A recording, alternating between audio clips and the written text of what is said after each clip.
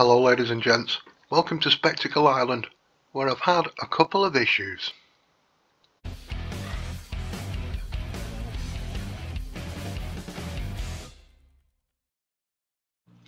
Hello ladies and gents, welcome back to Spectacle Island. Um, I've not popped a video on this map for a little while. The reason being, I, I couldn't get it to load. I tried it with no mods, just the map. Still couldn't get it to load. Just kept throwing me out of FS 19 completely. Uh, I found out it was a corrupt save. I've had to go back seven saves um, to find a game that would load.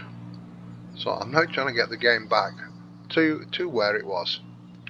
Uh, I had to recut down most of these trees again um, I've cut the grass and instead of having round bales, which I had trouble loading last time, uh, we've gone for square bales.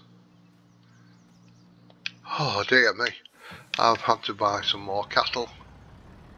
Um, do the BGA again, cut field 7 again.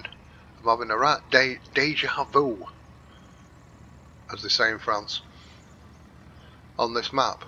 So uh, I should be back to normal very very soon and I can pop a video and show you where I'm up to or even maybe a stream. But uh, I'm going to clear this hay up again.